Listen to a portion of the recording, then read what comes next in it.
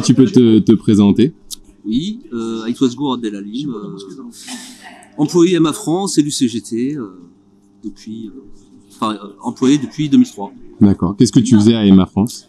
J'étais gestionnaire de production, c'est-à-dire que tu assurais le suivi des, euh, de la production de l'abeille pour voir un petit peu euh, si on atteignait les objectifs et euh, un ensemble de choses complémentaires aussi. Ok.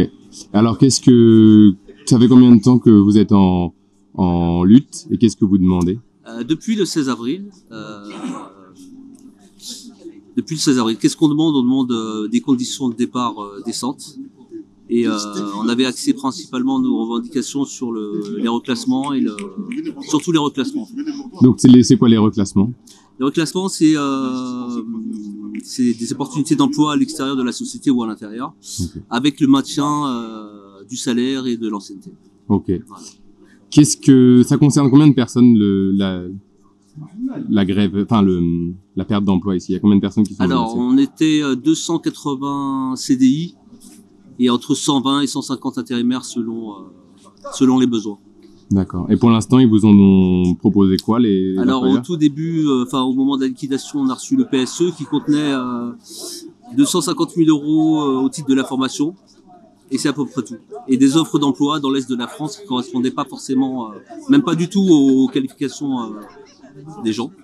Donc, euh, c'est pour ça qu'on a décidé de continuer l'occupation pour améliorer les conditions de départ. Parce qu'on sait que il y a peu de chances qu'on redémarre, puisque la liquidation a été prononcée, sans espoir d'avoir ne serait-ce qu'une une tentative de reprise de la société. Donc, euh, bah, depuis ce 16 avril, on, on maintient euh, la pression et euh, on est déterminé à aller jusqu'au bout. Ça vous, à quoi ça vous sert d'être ici, d'occuper, de bloquer? Comment ça fait pression sur le patron? Alors, ce qu'il faut savoir, c'est que notre client principal, Stellantis, a du matériel qui lui appartient ici. Euh, même des pièces qu'on était censé lui vendre qui sont encore en magasin. Un petit stock de pièces qu'on appelle le côté de caisse et tout, tout le côté du véhicule, qu'ils ont beaucoup de mal à produire à l'extérieur. Nous, c'était un peu notre spécialité. On fournissait des pièces de qualité et on sait que euh, ils en ont besoin. Donc c'est un petit peu euh, notre monnaie d'échange. Ok, très bien. Euh, ça représente quoi pour vous la venue de Jean-Luc Mélenchon aujourd'hui ici? Bah, c'est le, c'est la confirmation du soutien de LFI et du NFP en général depuis le début du conflit. Euh, moi, je me suis occupé personnellement d'essayer de contacter toutes les formations politiques et les seules qui ont répondu, c'est celles de gauche. C'est les seules qui se sont intéressées. Donc maintenant, on n'attend pas non plus des miracles, mais euh, c'est quand même un soutien moral et, euh, et aussi financier. euh. Ils ont participé à, à la caisse de grève également.